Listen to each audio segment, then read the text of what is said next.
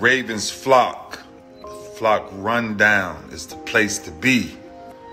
My man Ryan has been a lifelong Ravens fan since he was born. The flock rundown. Nothing gets better than waking up and wondering how high we can fly.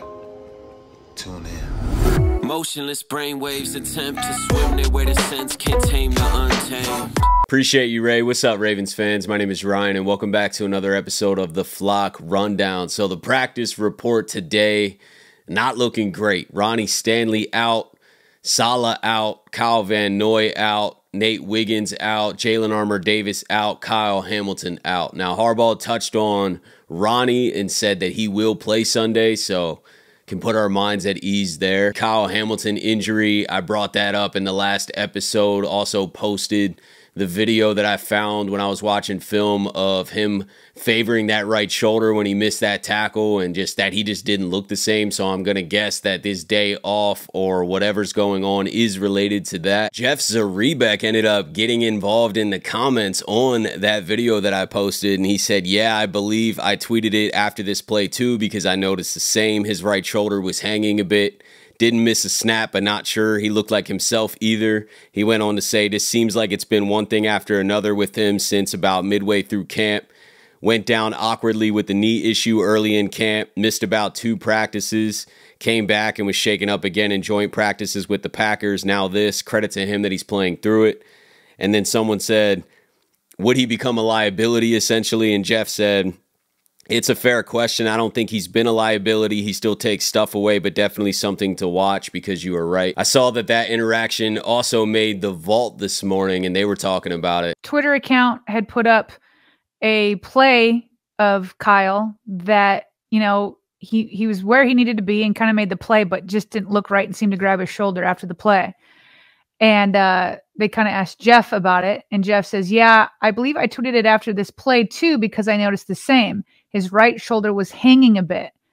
He didn't miss a snap, but not sure he looked like himself either. He is playing through something. That's the reason he's missing practice right now. Harbaugh didn't comment on the severity of anything. He said the injury report's going to come out. You don't get a lot of information mid-season because teams are trying to keep things under wraps. I'm sure he's going to tough it out and be out there Sunday, and I don't think he's a liability yet. Now, if that injury worsens and he can barely tackle or something, then we have a different story, but as of right now, I watched the whole game of just Kyle Hamilton after I saw that injury. And I was watching the secondary when I saw that injury originally. I was watching what happened in the secondary and like why they melted down essentially. And it really came down to a bunch of contested catches. But uh, anyway, I noticed that Kyle Hamilton played. So I went back and watched just Kyle Hamilton every snap the whole game.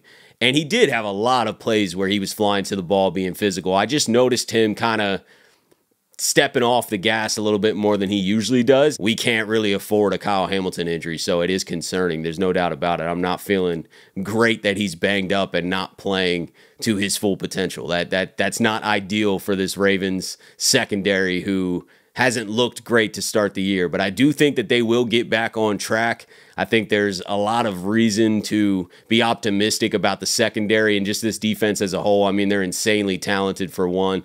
And Mike Macdonald had some growing pains his first couple games too. We were ranked almost dead last in pass defense for Mike Macdonald's first couple games, and now Zach Orr's kind of having a similar experience. We're incredible stopping the run, and we're having a lot of meltdowns and miscommunications and uh, just some inconsistent secondary play to use Harbaugh's main word right now. The Ravens are inconsistent, and I think that that secondary will get back on track, though. I'm not worried. But we do have another elite wide receiver on deck this Sunday versus the Cowboys. So definitely something to watch. Hopefully that secondary tightens up a little bit this week. Moving on to something that's a bit more positive. Marshal Yanda and Terrell Suggs are officially nominated for the Hall of Fame.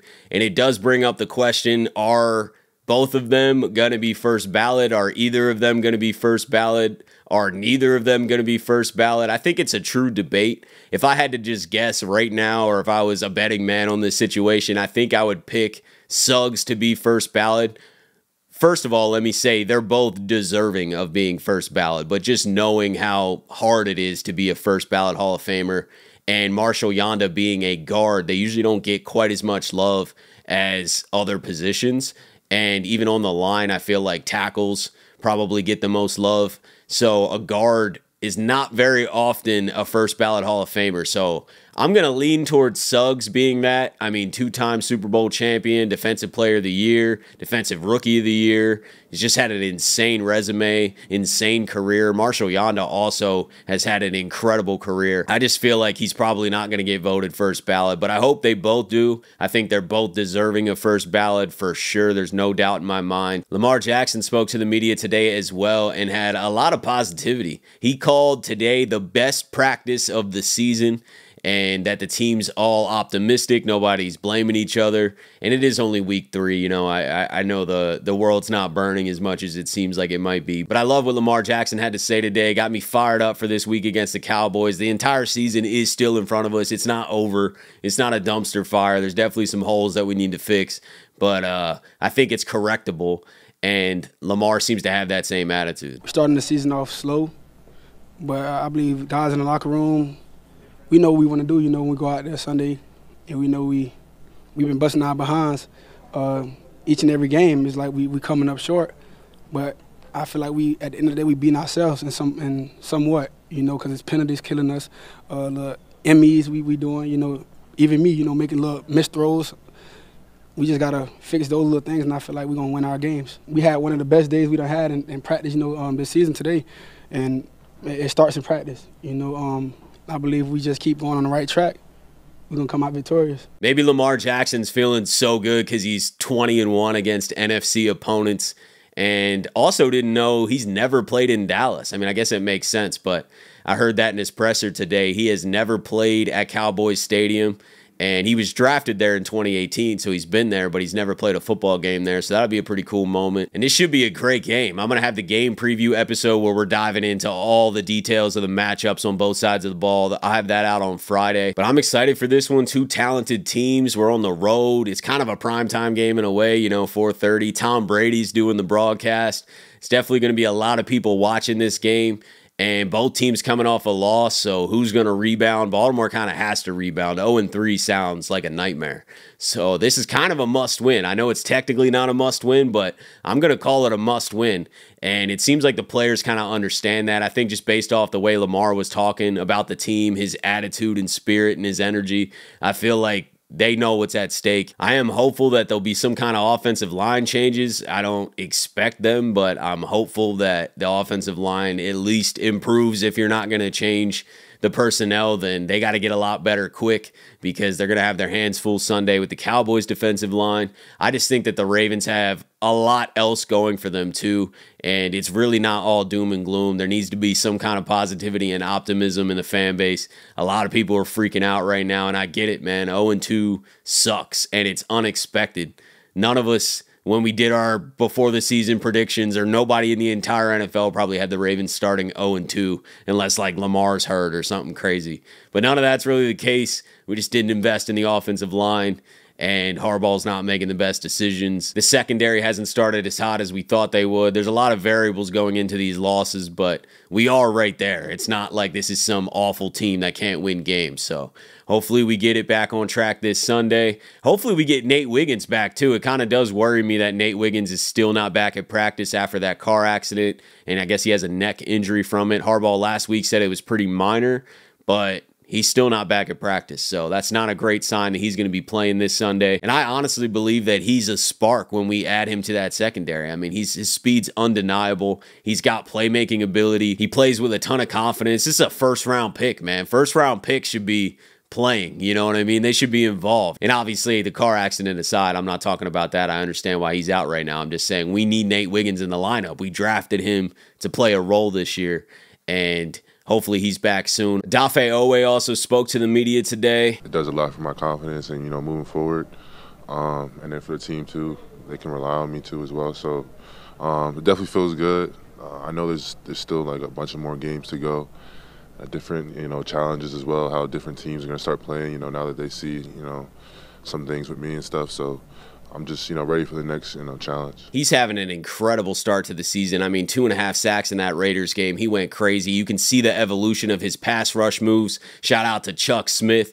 I definitely want him to stay around on the Ravens roster because I have seen the D line, the edges playing so much better since we hired Chuck Smith. And there's not many pass rush gurus like Chuck Smith. I mean, the elite rushers were hiring Chuck Smith in the offseason to work with them individually. So the Ravens were just ahead of the game almost, basically saying, okay, all these players are hiring this guy. Let's just bring him onto the coaching staff. And I think it's done wonders. I think Ojabo's playing incredible. Odafe Oweh's playing incredible. Travis Jones, Justin Madubuike are playing incredible. Kyle Van Noy, Tavius Robinson. I mean, we were kind of concerned about our pass rush group and how thin it was going into the season. And now I feel like that's one of our strengths. We're only rushing four. We don't even have to blitz a lot, and the guys are getting home. We're putting pressure on quarterbacks. So this unit's doing really well. I think once the secondary starts locking in and gets their communication a little bit sharper, we tighten up our linebacker coverage across the middle of the field. Once all that starts to gel, our defense is going to be dominant. We're going to have a really good defense. And then obviously we got to figure out things on the offensive side of the ball with the offensive line and the run game and things like that. But I really trust that this defense will be fine. I think this defense is going to keep us in basically every game throughout this season. And I'm feeling good. I'm feeling better than I was as each day goes. I'm getting more excited for Dallas. We'll have a full game preview breakdown episode on Friday. Those are always like longer, more detailed episodes, have some highlights and just really dive into the specifics of the matchup. So look out for that. But that's it for today, guys. I appreciate you as always for tuning in to another episode of the Flock Rundown. Have a beautiful rest of your day, and I'll talk to you guys soon. Motionless brainwaves attempt to swim sense, can't tame the untamed.